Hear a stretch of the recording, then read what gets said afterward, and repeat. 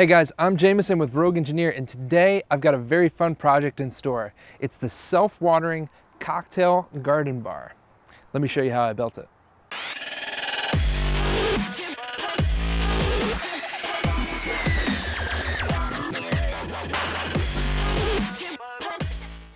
Okay, so to get started on this cocktail planter bar, I'm gonna go ahead and cut down these pressure treated southern yellow pine boards to the proper dimensions.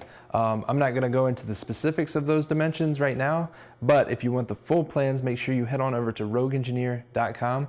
I will link up directly to those plans below as well as at the end of this video. All right, let's head on over to the miter saw.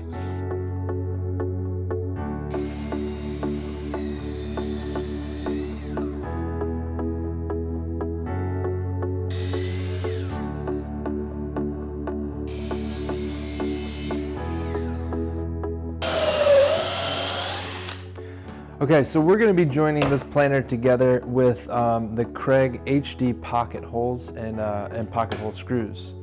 You don't necessarily need to use this as a form of joinery. You could simply just screw through the side and into um, the adjoining board. And, and the regular outdoor, the Blue-Kote pocket hole screws would probably work just as well.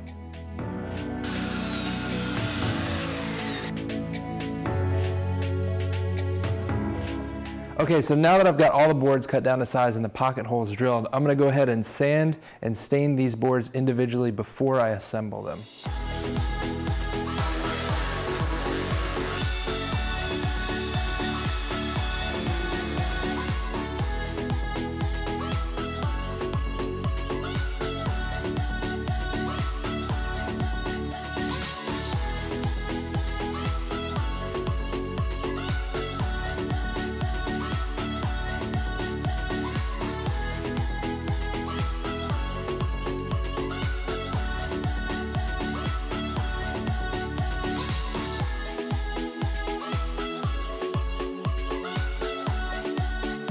Okay, so now that we've got the planter built, it's time to put some plants in.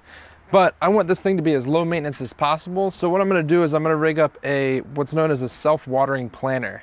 Essentially, um, we're gonna create a waterproof container for the plants to sit in. The water will be stored at the bottom and then feed the plants from the bottom up. To start that off, I'm gonna cut this down. This is three mil um, plastic drop cloth. I'm gonna cut this down to size and uh, line the inside of this planter. So what makes this planter a self-watering planter is gonna be this four inch drain line that's stored at the bottom. This is gonna house all the water for the plants and as it's needed, as the plants need that water, it's gonna wick it up from the bottom of the planter.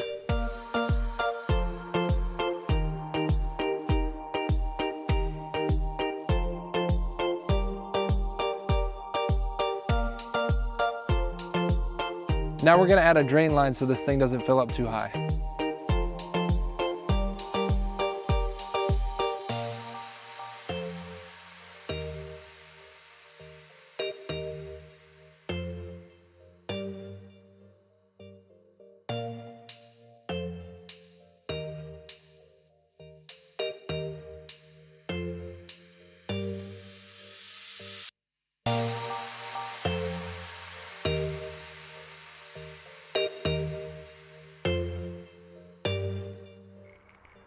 Hmm.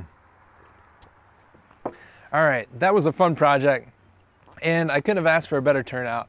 Um, a cocktail garden bar, and it's self-watering, so my wife can't kill the plants. As always, for the full set of plans, make sure you visit rogueengineer.com where I detail everything from the cut list and down to the step-by-step -step instructions. And if you don't already, click that subscribe button so you won't miss out on another project that we put out. As well, don't forget to like us on Facebook and follow us on Instagram for sneak peeks of upcoming projects. For some behind the scenes stuff, we've also got another, a second channel called Our DIY Life. Make sure you check out that one. I'll link up at the end of the video as well as in the description. As always, be safe and happy building.